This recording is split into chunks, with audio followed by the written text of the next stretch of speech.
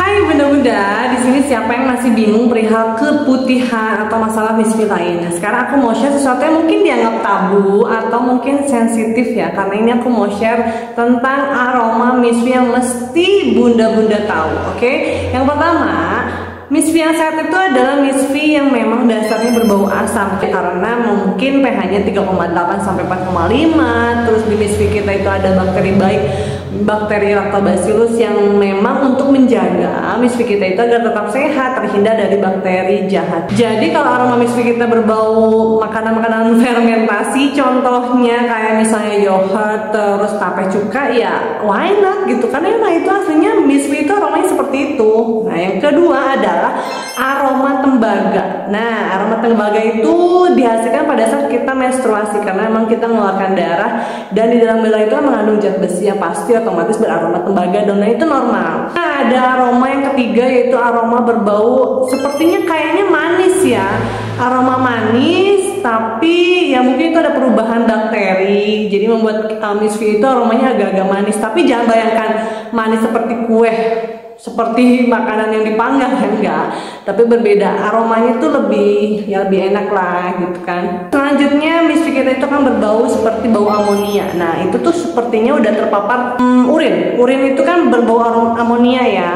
Nah itu biasanya cenderung ada indikasi nih kita itu katanya kurang cairan. Biasanya kalau misalnya sampai misfi kita itu bau amonia katanya sih kita kurang cairan kita kurang banyak konsumsi minum gitu terus misfi kita berbau bau seperti menyengat.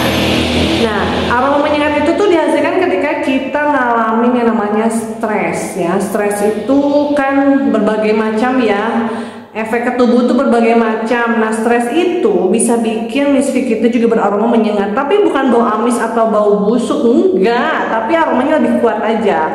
Ya, karena pada saat kita stres itu ada kelenjar keringat menghasilkan keringat berlebih. Ya, kelenjar keringat itu kan ada dua ya.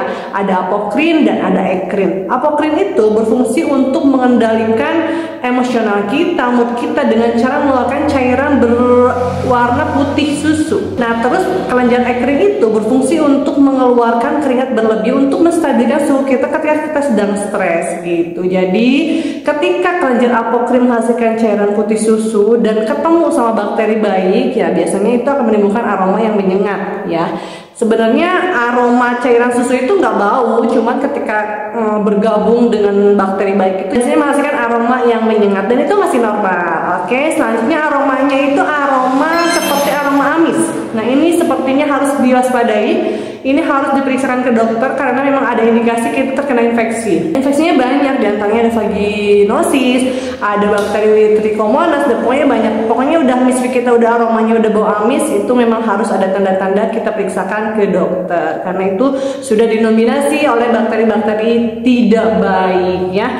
Terus aroma kita misalnya misfi kita beraroma busuk. Nah ini, ini sudah parah ya karena memang sepertinya ada sesuatu yang ada di dalam harus dikeluarkan tapi belum dikeluarkan. Contohnya misalnya kita habis kuret nih.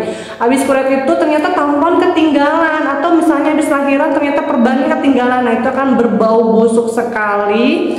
Atau mungkin ada daerah-daerah sisa yang memang seharusnya dikeluarkan tapi tidak dikeluarkan. Pokoknya gitu. Pokoknya ada sesuatu yang harusnya dikeluarkan tapi belum. Biasanya berbaunya busuk. Nah gitu. Jadi buat bunda-bunda harus lebih aware lagi untuk uh, aroma miswi kita ya karena memang aroma miswi itu kan dipengaruhi berbagai faktor ya. Dari hormonal dari aktivitas kita apa yang kita konsumsi dan sebagainya. Oke? Bunda-bunda pokoknya kalau ada apa-apa segera periksakan ke dokter ya. Jangan ditunda-tunda karena kita itu harus sehat harus sehat. Oke?